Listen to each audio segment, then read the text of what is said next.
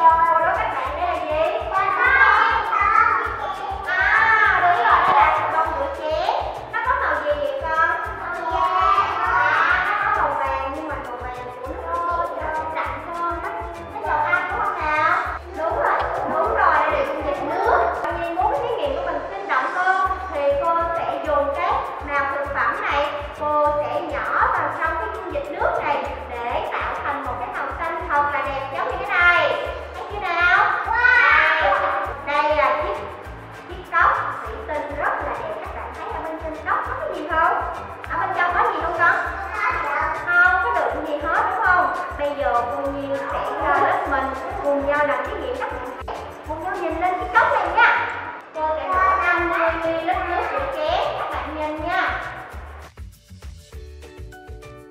nha.